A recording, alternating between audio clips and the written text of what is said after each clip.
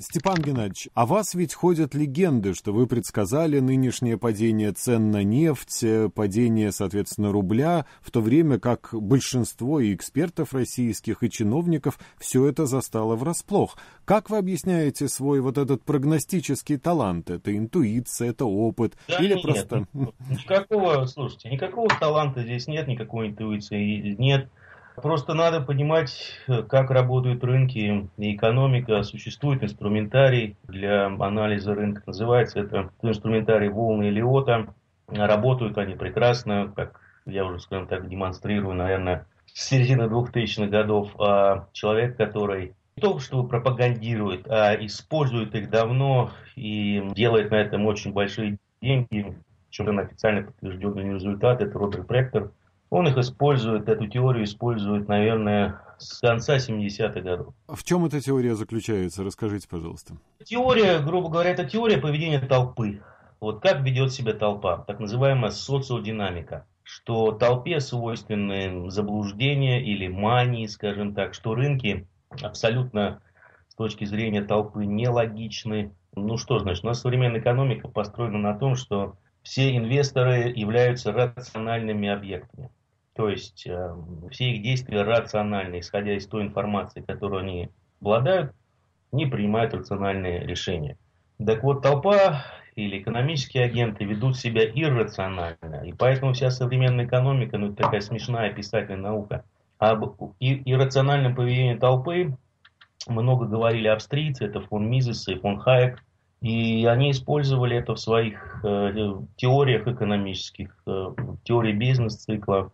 Все это давно используется, но это, скажем так, поскольку это в современной экономике абсолютно не кошерные вещи, разумеется, ими никто не занимается, и они находятся под табу, табуированы современной экономикой. Как это все накладывается на нынешнюю ситуацию на нефтяном рынке? Ну как, очень просто накладывается. Там были цели в 114 у Light Suite – После этого первые цели были 85-86, дальше 72, дальше 64, ну а дальше 51. Вот мы по этим целям идет, и идет движение. Начинали мы с движения, кстати, когда по нефти было 96% быков, то есть 96% инвесторов считали, что нефть будет только расти. Сейчас ситуация прямо противоположная. По нефти у нас всего лишь 5% быков, то есть 95% инвесторов или участников рынка, рынка считают, что нефть будет падать дальше. Это значит, что нефть близка к э, существенным краткосрочным низам. И нас ждут э, высокие планки по нефти, там 120-122 по лайцу для начала. То есть иррациональная толпа как бы давит эту нефть вниз? Конечно, понимаете, ведь все под конец тренда всегда стоят в одну сторону. То есть сейчас, э, если говорить просто и упрощенно, продавать нефть больше некому. Хм, остались покупатели. Соответственно, рынок развернется. А уж как там будут его объяснять эксперты, экономисты, все остальные, ну, это называю сказочки Андерсона. А что касается рубля, ну вот есть э, самые пессимистичные прогнозы. Наверное, вы видели в эфире канала «Дождь», и даже ведущего программы совершенно ввел в полный ступор управляющий директор компании «Финам» Николай Солобута, который так равнодушно, хладнокровно сказал, что к марту доллар будет стоить 200 рублей. Поддержите его прогноз? Ну, трудно сказать. 200 пока цель не стоит. Да, единственное, что могу сказать, что у рубля дна нет по, в общем, и техническим, и фундаментальным причинам. У рубля, как у валюты, дна нет, и э, сейчас, в общем, рубль пошел свой последний путь. Конечно, будут коррекции существенные, там по 7, по 10 рублей за доллар, но направление глобальное у этого тренда только вниз по рублю. Что касается 200, ну, я шучу по-другому, у меня другая такая шутка, ну, все опять крутят у виска что мы можем спокойно увидеть ситуацию, когда и нефть 150, и рубль 150. Причина очень простая, что рынок нефтесервисных услуг, а это обслуживание добывающих скважин, э, геологоразведка, бурение, разведочное бурение, в России занимает порядка 80%. Это вот, было 4 компании крупных, сейчас э, Халибертон купил Хьюз, осталось практически 3. Вот Халибертон, Хьюз, ну теперь уже Халибертон э, и Шлюмберже, они занимают 80% рынка, они под санкциями. С начала года они под санкциями, и уже тут горячее обсуждение в правительстве российском, что они будут делать со своими производственными мощностями, продавать их, закрывать и тому подобное. Так вот, просто начнется резкое сокращение объемов добычи и, соответственно, экспорта нефти. Поэтому нефть может стоить 150, а поступление валютных э, в бюджеты в страну будет значительно меньше. Ну, разумеется, под этим соусом так называемая инвестиционная идея, как у нас любят говорить, э, начнется рост нефти. Как же, ведь предложение на рынке нефти начнет сокращаться со стороны России в силу вот этих причин. Соответственно, мы увидим, можем увидеть рост нефти и падение рубля дальнейшее. Э, сейчас, вы знаете, расшаривают в социальных сетях старые ссылки на предсказания аналитиков, сделанные, ну не очень старые, сделанные всего 11 месяцев назад, и эти эксперты говорили россиянам, что не нужно покупать доллар за 35 рублей, тогдашний курс, потому что рубль будет непременно расти и расти. Что делать вот тем обывателям, которые поверили тогда этим прогнозам, не стали ничего покупать и до сих пор колеблются и не знают менять или ждать, когда рубль вырастет или что вообще? Ну, смотрите, у обывателя судьба на самом деле незавидная, поскольку более 90% участников рынка проигрывает деньги. Поэтому, что бы обыватель ни делал, он деньги рано или поздно проиграет. По одной простой причине. Вот даже если сейчас объяснить обывателю, попытаться, что вот у рубля нет дна, покупай доллары и не обращай внимания на коррекции по рублю, то есть временное укрепление рубля. Он, может быть, пойдет и купит доллары, но потом, когда, скажем, рубль укрепится на 5-7 рублей к доллару, он, э, скажем так, обматерит давшего этот совет и пойдет сдаст э, свои доллары на 7 долларов дешевле. Ну и, разумеется, после этого курс развернется и рубль снова падать. Э, поэтому совет людям тут давать бесполезно, на самом деле. Они все равно сделают все наоборот. Но вы знаете, что Путин в своем обращении грозил валютным спекулянтам и, видимо, рассчитывал как-то остановить падение рубля и, естественно, получил обратный эффект. Прямо во время своего выступления рубль тут же пополз вниз. Верная реакция рынка? Да нет, ну, понимаете, ну это было ясно, что во время, вот даже в начале недели в блоге написал, посмеялся, говорю, так, где Набиулина? Она либо заснула за штурвалом, либо да, ей давно не били по голове веслом, она раскачивает лодку. Ну, разумеется, вышел ЦБ, начал делать какие-то интервенции, чтобы стабилизировать курс. Как раз к моменту выступ... начала выступления Путина, если уж так в технический анализ торговые вещи вдаваться, то рубль падал, да, началась коррекция по рублю, коррекция практически уже себя исчерпала, стояли дивергенции на пятиминутных графиках. И, в общем, рубль должен был начать очередной такой небольшой слаб что и произошло. И выступление Путина, ну, скажем так, совпали события. Бывает. Вы знаете, что сейчас даже почти всерьез, или может вообще всерьез, некоторые депутаты в Думе предлагают провести деноминацию рубля только ради психологического эффекта, чтобы евро был не 60 рублей, а 6. Кажется, что это признак полной паники, да? Вы знаете, я бы на самом деле не стал бы рассматривать заявление Госдурки, я называю не Госдура, а Госдурка, да, потому что их заявления и инициативы, они, они были бы смешны, если бы не были так страшны, да серьезно рассматривать их заявления, либо выступления там президента, либо кого-то еще, потому что, на мой взгляд, они все работают в основном на внутренний рынок, на внутреннего потребителя, да, на так называемый великий гусский мир. И носят, скажем так, такой не то чтобы несерьезный, а балабольский характер. Ну, позаявляли, позаявляли, все равно ничего не сделают, либо сделают все наоборот. Примеров тому огромная масса. Что взять? Обещание не повышения налогов а, на малый и средний бизнес, которые были и год, и два назад. Поэтому это все равно, что пойти в дур, да, в дурдом, и серьезно анализировать заявления обитателей. Это то же самое, на мой взгляд. Они ничего не означают, понимаете? Да, это выглядит нелепо со стороны, над этим можно смеяться. Но если вы на минутку задумаетесь, что это так называемые народные избранники и что это э, законо, законодательная ветвь правительства, да, законодательная ветвь, то становится очень грустно. Поэтому я стараюсь на них внимание обращать. А что касается заявления бывшего премьера, а ныне главы службы внешней разведки Фродкова, который сказал, что это все действие каких-то темных сил на Западе, обрушение рубля и э, Соединенных Штатов, инвестиционных фондов, которые специально занимаются спекуляциями, чтобы рубль обрушить. Это тоже заявление из дурдома? Нет, здесь не столько из дурдома, просто Фродкова хотелось бы немножко еще огорчить а, тем, что крупные игроки, крупные спекулянты еще не начали выходить из рубля. по одной простой причине, что если, скажем так, основной удар по рублю со стороны презренных спекулянтов в 2008-2009 году пришелся как раз со стороны фондов, которые инвестировали в российские акции, российские акции, там был мощнейший отток, по-моему, полтора миллиарда ушло, был мощный удар, то сейчас э, основной удар придется, и он только вот начинает, скажем так, раскочегариваться, эти презренные спекулянты, со стороны фондов, инвестировавших в рублевые облигации, которые занимались керритом, то есть брали дешевые деньги на Западе в валюте, да, под низкие процентные ставки, конвертировали их в рубли, покупали государственные, так корпоративные облигации рублевые, ну и, соответственно, на эти вот 2%, как говорят у нас здесь новые крутые, и жили. Сейчас, сейчас, значит, по моим оценкам и по оценкам ЦБ, э, таких э, инвестиционных денег или портфельных инвестиций порядка 60-65 миллиардов долларов. Это первое. Второе, нужно понимать различие психологии между фондами и управляющими, которые инвестируют в облигации и в акции. Для управляющих облигационными фондами, скажем, просадка в 10 или 15 э, процентов, это уже смерти подобно. У них начинается, у них начинается просто нервный тик.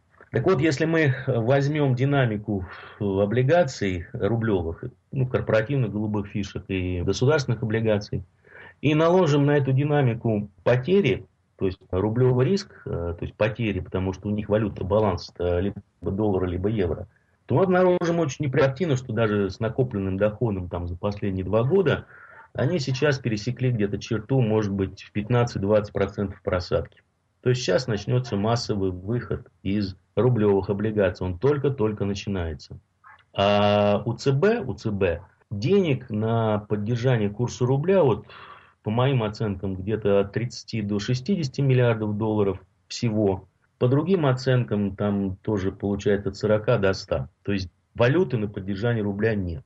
И вот это действительно будет мощнейший удар со стороны так называемых презренных спекулянтов. А этот удар еще не начинался. А может быть такой удар с другой стороны, и реален ли он как отключение Свифта? Вы знаете, может быть, заявление главы Андрея Костина, который сказал, что это вообще будет означать объявление войны, посол Соединенных Штатов России должен будет покинуть страну в тот же день.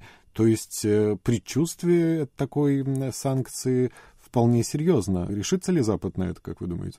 Трудно сказать. Вопрос в том, эм, какие вот цели сейчас преследует Запад, потому что я если ничего не буду придумывать, это я оставлю, скажем так, артистам разговорного жанра, всяким политологам, болтологам, экспертам. А я просто, знаете, у меня такая дурная привычка читать Бжезинского, колонки Бжезинского выступления. Благо, я 12 лет прожил в Штатах, хорошо знаю английский. Даже с Бжезинским пару раз встречался, чуть случайно, на университетских корпоративах. В самом начале происходящего он писал, что необходимо, западные лидеры, необходим, им необходимо дать понять господину Путину и его ближайшему окружению, что цена за их действия для них лично будет очень высока. Ну, действительно, сначала появился список ближайшего круга Путина, попавших под санкции. Там полетел Фирташ, э, тут же его быстро взяли, скрутили а сейчас, судя по всему, он начал давать показания, надеясь эм, сделать сделку со следствием, с ФБР. Но на них это не подействовало. Никакого изменения во внешней политике и политике по отношению к Украине не последовало. Бжезинский потом был немного разочарован и написал, что единственное, что еще поддерживает Путина на его э, курсе, это всенародная любовь. Ну, значит, будем бить по народу. Да? И вот дальше уже пошли мощнейшие санкции – которые бьют не по кругу Путина, а по экономике в целом. Это и вот отрезание всех западных рынков капитала, это и работа с китайцами, которая была очень успешной, чтобы они тоже под, хотя бы, если не присоединялись к санкциям, то не нарушали их. А это и работа с европейцами, потому что чего греха таить, э, европейцы, они такие ни рыба, ни мясо. Да? Только сейчас они раскочегарились американцы им, по всей видимости, очень популярны и доходчиво объяснили, с чем они имеют дело.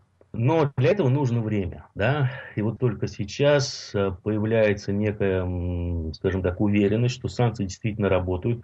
Они еще не привели к э, изменению курса Путина, ну, скажем так, они чуть-чуть притормозили эскалацию ситуации, но пока ничего не поменяли. А что будет следующим шагом? Ну, хорошо, ну, включаете вы, скажем, Россию от системы SWIFT. Это будет такой очень быстрый, болезненный удар. Как в свое время э, такой удар был нанесен по Ирану. А, ну, не смертельный. Потому что, на мой взгляд, западные стратегии, ну там их нет практически, на мой взгляд, за исключением Бжезинского, они не, недооценивают то, что происходит в России, недооценивают э, тот уровень манипуляции общественным мнением и сознанием, который здесь происходит. Это все будет легко объяснено народу как кознями проклятого Запада, который ненавидит великий русский мир за его высокую духовность. Ну, что-нибудь такое там будет на Первом канале. А поэтому это тоже, наверное, не приведет к изменению внешнеполитического курса Путина. А вот, скажем так, э, постепенное усиление существующих санкций, как усиление санкций в основном в области добычи, разведки ископаемых, банковского сектора, оно рано или поздно приведет к желаемым результатам, потому что, на мой взгляд, связь между вентилятором и холодильником установить невозможно. Ну, вы знаете, что российские бизнесмены в большинстве своем, в общем, сейчас в бешенстве, да, и в ресторане «Пушкин» сейчас разговоры такие, как на каком-нибудь собрании движения «Солидарность» четыре года назад.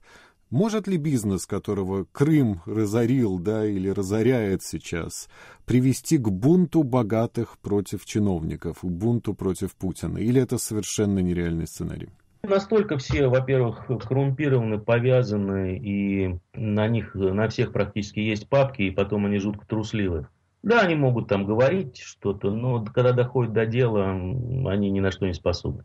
Это не тот контингент, который способен что-либо сделать и изменить ситуацию. Моя личная точка зрения. Есть такая любопытная версия, ее высказывал вот в нашем эфире американский финансовый аналитик Виталий Кацанельсон, что украинская авантюра Кремля была вообще затеяна из-за того, что Путин ощущал грядущую экономическую катастрофу и падение цен на нефть и решил таким образом отвлечь внимание. Э, слишком красиво звучит или может быть правдой? Вы знаете, это слишком красиво звучит, и даже не столько красиво звучит, просто большинство экспертов, аналитиков и вообще политиков вот сейчас, я думаю, они просто отказываются признаться себе в одном простом факте. Что из себя представляет система управления в России – от страны как такого целостного организма, где существует система управления. Там называют и вертикаль власти, кто-то еще говорит о каком-то политбюро 2. Ничего подобного. Систему управления называют ДГА. Дураки, глупцы, абсурд.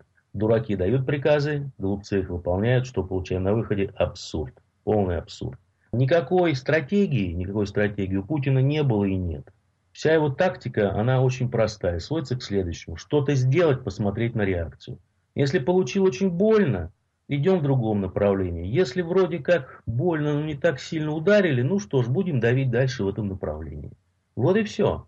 А какие-то там умозаключения, которые длятся больше, чем полхода, это не его конек и не конек его окружения, на мой взгляд. Поэтому, скорее всего, Крым э, он планировался, может быть, и раньше, потому что в Кремле не воспринимают Украину как некую, скажем так, зависимую страну или жизнеспособную страну, потому что, например, знамена так называемой Недороссии, да, или я называю Лугандонии, а, они были засвечены еще на всяких сходках там и на Валдае, и э, на Селигере, они еще были засвечены и в 2011-2012 году. Поэтому какая-то часть этого готовилась. Но аннексия или оккупация Крыма, я думаю, это было спонтанное решение Путина, потому что только что слетел абсолютно аналогичный ему режим. Просто один в один аналогичный режим путинского. Слетел буквально без крови за какие-то два месяца. Что нужно делать? Ну, когда такая жопа в стране, значит, нужно говорить о чем? Нужно говорить о патриотизме, что мы великие, что мы встаем с колен. Ну и, разумеется, пока есть хлеб и зрелище, нужно подкинуть народу очередное зрелище. Ну вот и подкинули. Что случилось с рейтингом Путина? Он ушел в небеса. Поэтому этот тактический ход сработал, я думаю, на это и рассчитывалось. Хотя последствия, я думаю, они абсолютно не просчитывали. Потому что Грузия им сошла с рук, но они думали, что и Крым сойдет с рук. И если бы сюда не вмешались американцы, если бы Путин не полез на восток Украины, я думаю, что европейцы Крым бы ему тоже простили. Так бы, побузили, побузили, но Крым бы простили. Но все зашло слишком далеко. Вот мы говорили о том, что делать обывателям, которые побоялись менять рубли, а что делать людям, ну, так скажем, мыслящим, да, я вот вижу по своим знакомым, люди, даже не помышлявшие еще недавно об эмиграции, сейчас вообще ни о чем другом не говорят. Я знаю, что и вы советовали в ваших публичных выступлениях покидать Россию, да? Да. Просто другого пути в данный момент я не вижу. Я говорил даже следующее раньше, что если к концу 2014 года э, в России не начнутся погромы, то я из страны уезжаю. Они не начались. А народ спокойно схавал опять вот это вот приготовленное блюдо кремлевскими пропагандистами. И у меня создается такое впечатление, что, в общем-то, страна не то чтобы обречена, но она близка к прохождению некой точки невозврата, после которой она перестанет быть страной, у которой есть какое-либо будущее. Ну вот вы упоминали уже Иран, э, там похожая ситуация, и санкции широчайшие, СВИФТ отключали, и тем не менее иранская революция, на которую Запад возлагал большие надежды, захлебнулась, власть не сменилась, Сейчас санкции потихоньку снимают, какая-то, так сказать, опять вот такая вот стабильность на долгие годы устанавливается. Может ли и в России вот так же все это закончится иранским вариантом? Или это нельзя сравнивать? Нет, почему? Можно, только, понимаете, у ранцев э, был еще такой небольшой запас прочности, если хотите, идеологический запас прочности, да, они все-таки такие упоротые мусульмане. Но в России же вот этого запаса прочности нет. Э, в России есть единственный сейчас запас прочности с идеологической точки зрения – это то, что значительная часть населения вдруг объединилась против общего врага. Да? Вот у нас народ почему-то всегда объединяется против врага. Просто так что-то сделать хорошее, объединиться, что-то сделать полезное для страны не получается. Вот с врагом, да, есть враг, мы сейчас объединимся. Причем враг выбран очень удачно, как всегда. Он где-то там далеко, он большой и страшный, и вот его действия можно видеть, можно сказать, на своем холодильнике, но он далеко такой непонятный, да, такой абстракт. И все, понимаете, других, э, что ли, идеологических скреп нет. Идеология в стране отсутствует э, напрочь, ее нет. У страны нет государственной идеологии. Поэтому весь вопрос в том, насколько длительно, как вы правильно сказали, и глубоки будут санкции. Потому что в Иране вот за счет, на мой взгляд, этого идеологического запаса прочности не произошло, скажем так, схлопывания, что ли, институтов власти и социальных институтов. В Иране, на самом деле, коррупция, ну, не самая, скажем так, страшная и большая в мире. В России же, еще раз, системы управления нет. Она сводится к ДГА. Дураки, глупцы, абсурд. Коррупция повсеместна. Коррупция, она просто поразила, как рак государства, государственную машину, и она уже ни на что не способна. Расслоение по доходам жутчайшее. Поэтому, в принципе, в России создана руками Путина за последние, там, скажем, 10 лет, создана революционная ситуация. То есть, когда низы не хотят, верхи не могут. Более того, в России нет никаких э, практически политических свобод. Поэтому как правильно заметил тот же Путин, в Майдан в России невозможен. Я с ним согласен. Да, Майдан, то есть такой, такая бескровная, что ли, революция, она здесь невозможна, поскольку если посмотрите на все эти цветные революции, то они происходили, в общем-то, в странах были удачными, где были относительно политические свободы, где действительно была не смешная, не кремлевская оппозиция и тому подобное. Где-то они приносили свои результаты, где-то нет. То есть, если здесь невозможен Майдан, то здесь будет Тахрир. Он случится рано или поздно, потому что революционная ситуация в стране есть, и она только усугубляется. И санкции, еще раз, на мой взгляд, санкции не есть причина или первая причина и ухудшения экономической ситуации, и всего того, что происходит. Все, на самом деле, экономика начала сыпаться еще в 2012 году, и рубль бы, если бы он не упал в 2014 году, он бы упал в 2015 году. Просто у каждой системы есть предел прочности есть предел износа, когда начинает ломаться и разрушаться. Вот, на мой взгляд, эти пределы в России уже пройдены, и санкции всего лишь не то чтобы даже ускорили процесс, а они подсветили всю уродливость государственной машины, государственной структуры, которая есть в России. Вот и все. Поэтому мирного пути здесь не будет, к сожалению.